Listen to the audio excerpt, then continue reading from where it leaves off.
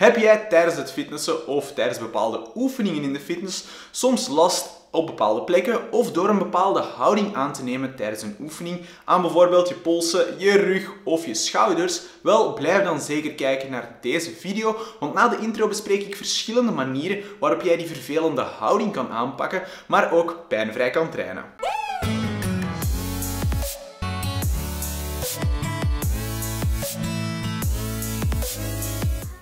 Welkom op ons kanaal FitFacts. Mijn naam is Koen en hier op dit kanaal proberen we jou veelgestelde vragen rond fitheid en gezondheid te beantwoorden. Maar we geven ook workouts mee, dus is dit iets waarvan jij heel graag op de hoogte wil blijven, abonneer je dan zeker en vast hieronder op ons kanaal. Maar nu terug naar hoe je ervoor kan zorgen dat je tijdens het fitnessen die pijn die je voelt zal kunnen verminderen. Er zijn twee manieren die in deze video steeds gaan terugkomen. Het eerste dat je kan doen is je houding gaan aanpassen, waardoor de pijnlijke plek ontlast gaat worden. Want meestal komt de pijn die je voelt tijdens een bepaalde oefening door het aannemen van een specifieke, soms foutieve houding. Het tweede dat je kan doen is materiaal gebruiken dat je zal helpen om in een aangenamere en meer correcte houding te blijven. Hou in je achterhoofd dat er wel verschillen kunnen zijn afhankelijk van jouw lichaamsbouw. Wij geven jou dus algemene tips mee die je zelf kan gaan fine-tunen aan de hand van je eigen morfologie. Laten we bij een gemakkelijke oefening beginnen, namelijk de squat. Je hoort mensen geregeld al wel eens zeggen dat ze pijn hebben aan de onderrug tijdens het uitvoeren van een squat met een bar of in de fitnesswereld ook barbell genoemd. Een mogelijke oorzaak van die pijn kan te wijten zijn aan de stand van je bekken, waarbij oftewel je bekken te veel naar voor of te veel naar achter gekanteld hebt, waardoor je je onderrug bol of hol maakt. Merk je nu bij jezelf op dat je dit doet of merk je dit bij een fitnessbuddy op?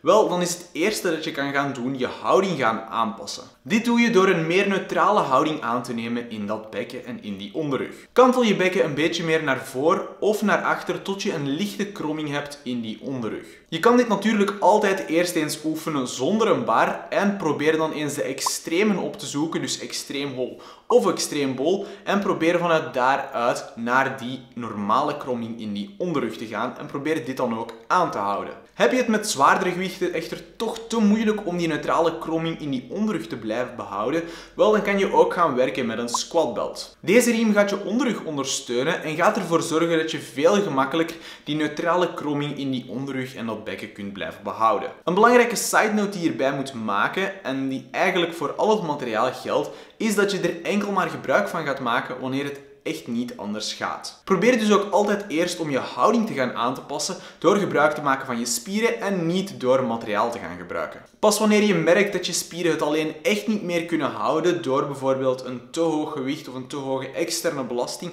dan pas raad ik aan dat je gebruik gaat maken van het materiaal. Bij het squatten heeft echter niet iedereen last aan die onderrug. Sommige mensen hebben ook pijn aan de overgang tussen de nek en de bovenrug op de plek waar je bar juist rust. Dit komt meestal omdat de bar vrij zwaar is en omdat ze slecht ligt op of net tussen twee wervels. Logisch gezien probeer je natuurlijk eerst om die bar te gaan herleggen en te kijken of je ervoor kan zorgen dat je ze wel goed kan leggen tussen twee wervels en rustend op je trapeziusspier. Geeft dit toch geen beter resultaat, dan kan je gebruik gaan maken van een moessenkussen dat rond je baar zit. Of je kan een handdoek rond je baar gaan draaien om zo de druk op je bovenrug en op die wervels te gaan verminderen. Al dat materiaal dat ik hier nu aan het opsommen ben, wel dat vind je ook hieronder in de beschrijving van de video voor moest je interesse hebben en iets willen aanschaffen. De volgende pijnlijke plaats die we gaan overlopen, wel dat zijn de polsen en de handen. Want of het nu is tijdens het benchpressen, het olympisch gewicht heffen of een van de zoveel andere oefeningen, wel die handen en die polsen die zijn meestal onderworpen aan redelijk grote impacten. Het naar achter kantelen van je polsen is een veel minder stabiele houding dan wanneer je je handen en je pols het verlengde van je onderarm zouden volgen. De kans bestaat dat dit voor pijn gaat zorgen. Probeer daarom om steeds je pols en je hand in het verlengde van die onderarm te houden wanneer je benchpresst, nekprest of een van de zoveel andere oefeningen doet. Net zoals bij de squat geldt ook hier dat we eerst en vooral ervoor gaan zorgen dat onze houding beter is door onze pols dus in het verlengde van onze onderarm te houden, alvorens we naar ondersteunend materiaal gaan grijpen. Heb je je houding aangepast, maar blijven je polsen toch pijn doen tijdens het uitvoeren van deze oefeningen?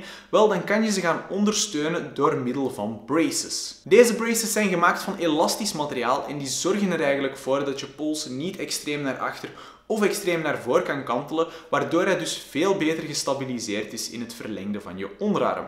Dat wat betreft de polspositie. Maar soms kunnen tijdens het uitvoeren van oefeningen met een losse bar ook je handen of je vingers pijn gaan doen en beginnen glijden. Meestal heeft dit wel echter niets te maken met het aannemen van een verkeerde houding, maar wordt dit gewoon veroorzaakt door het nemen van zware gewichten. Om het dragen van zo'n zware gewichten tijdens bijvoorbeeld het deadliften, maar ook tijdens het Olympisch gewichtheffen veel draaglijker te maken, kan je gebruik maken van straps. Deze doe je rond je pols en draai je daarna rond je bar. Ze zorgen voor een veel betere grip en ze maken het ook veel minder vermoeiend en pijnlijk voor je vingers. Dan gaan we over naar een volgend lichaamsdeel dat vaak pijn doet, maar eigenlijk helemaal geen pijn zou mogen geven, namelijk de schouders. Er zijn enorm veel oefeningen waar je schouders een belangrijke rol spelen.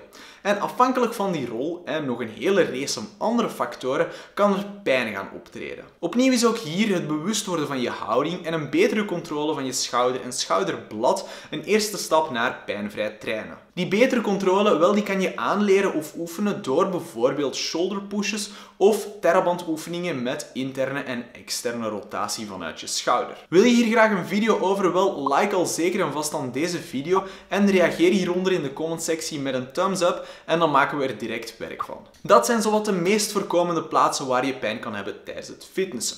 Nu, er zijn ook nog andere plekken waar je pijn kan hebben, die we hier niet in deze video besproken hebben. Wil je daar toch graag meer over weten? Klik dan zeker hier op het icoontje. Dat zijn twee video's uh, over enkel- en kniepijn en die gaan je al een heel stuk verder helpen. Dat is alles wat ik jullie in deze video wou meegeven. Vond je het een leuke? Klik zeker op die thumbs up knop. Stel jouw vragen zeker hieronder in de comment sectie. Ingen en ik beantwoorden ze met heel veel plezier. Wil je dan nog graag op de hoogte blijven van alle video's die nog gaan uitkomen? Klik dan zelfs hier op die witte bal met ons logo op. Daar kan je je abonneren. Of klik op dat belletje ernaast. Dan uh, word je op de hoogte gehouden via e-mail updates wanneer de nieuwste video's uitkomen, zodat je die direct als eerste kan gaan bekijken. Ik zie jou terug volgende keer in een volgende video. Bye bye.